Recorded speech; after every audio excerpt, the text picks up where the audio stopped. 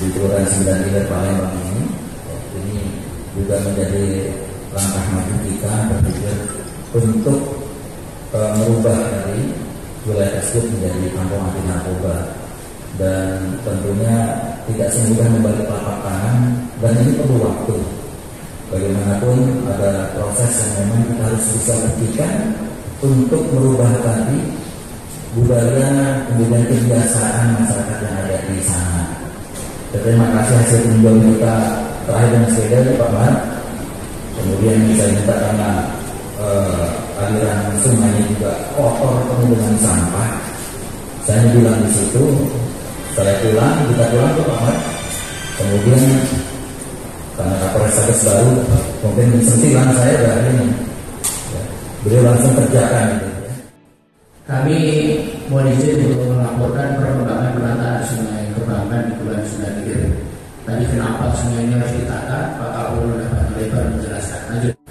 Ini kondisi awal sungai, ya, ada di Jalan Mayor HM Air Nawawi kondisinya. Kami tidak perlu baca satu-satu. Saya pikir teman-teman, apalagi Pak RT, Pak RW, sudah paham betul kondisinya seperti ini. Ya. Nah, banyak saudara-saudara kita di kanan kiri ini yang terlibat narkoba. Dari Pak narkoba tadi itu juga di bagian salah satu yang akan kita apa kita benahi. Jadi kita tidak hanya membenahi fisik bangunan yang ada di situ, tapi juga manusianya yang akan kita benahi. Teman-teman sekalian yang hadir, inilah rencana penataan lokasi. Ini konsep awal kita. Jadi nanti kami tadi juga terima kasih Pak Wali. Nanti kami pagi-pagi sama Pak Kapolres Tabes sama Pak Wali sudah ada di lokasi tadi. Nah, penataannya seperti ini teman-teman. Jadi ini tadi kita udah lihat ini di Indonesia ini ternyata Pak Alfred ini juga ada hadir dari perwakilan Pak Pak apa ya Pak Aris ya. Oh Pak Sigit, maaf. Pak Sigit ya, Pak Sigit juga ada hadir di sini. Tadi udah sanggupin izin Pak Kapolda. Tadi udah menyanggupi kalau ini mau di dibeli sama Pak Pak di tembok tingginya 3 meter. Nah nanti akan digunakan untuk mural seperti ini, mural tiga dimensi sehingga teman-teman atau masyarakat Palembang yang hadir bisa foto selfie di lokasi mural itu. Kami laporkan Pak, kami bersinergi dengan teman-teman langsung kami temui Pak Balai, Pak Basari juga, Pak Dinas, dan teman-teman PPI lainnya.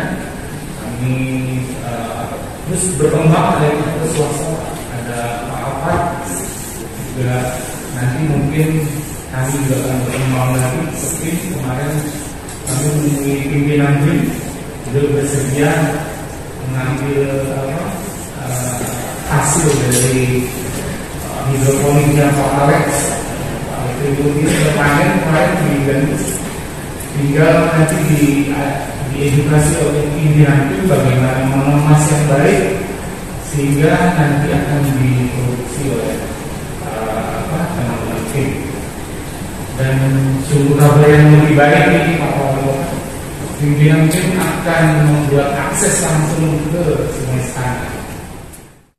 Sekali lagi kami mengucapkan terima kasih Pak Kapolda atas fasilitas koordinasi pada hari ini. Ini suatu yang luar biasa bagi kami Pak. Apalagi kaitannya sesungguhnya ini menjadi tugas kami tetapi ini luar biasa luar biasa atas perhatian Pak Kapolda sesungguhnya kami sangat mengapresiasi apa yang dilakukan pada hari ini tadi telah disampaikan kaitan dengan kampung tangguh kita sepakat bahwa narkoba ini sungguh sangat bahaya. Sudah berapa banyak korban oleh para narkoba. Tadi disampaikan Pak Kapolda, kalau ini kita tidak tangani serius, bagaimana masa depan bangsa kita ini? Ya, karena bukan hanya jiwa, tetapi yang lebih bahaya bahwa narkoba ini akan membunuh akal yang sehat